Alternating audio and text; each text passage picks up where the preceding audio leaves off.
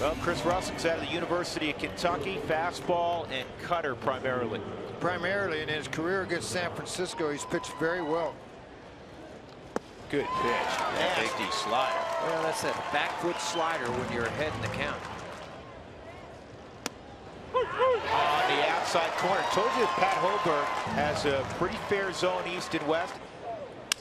And this is going to be on one hop to Reyes. Six up, six set down by Chris Rusin. It's 4 nothing Colorado top of the order when we return.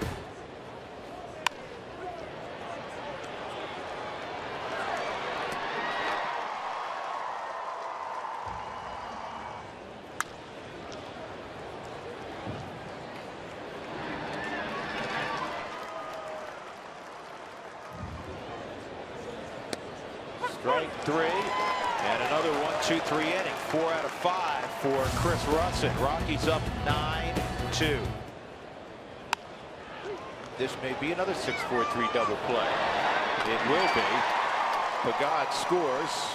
The Rockies will gladly, with the big lead, trade two outs for a run. Very difficult.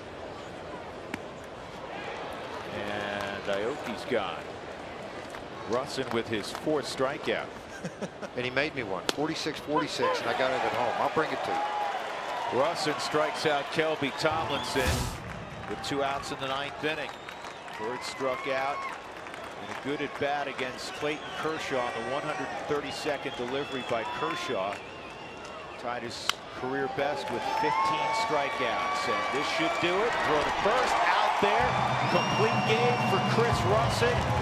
What an opening performance for the Rockies in this four-game set with the Giants.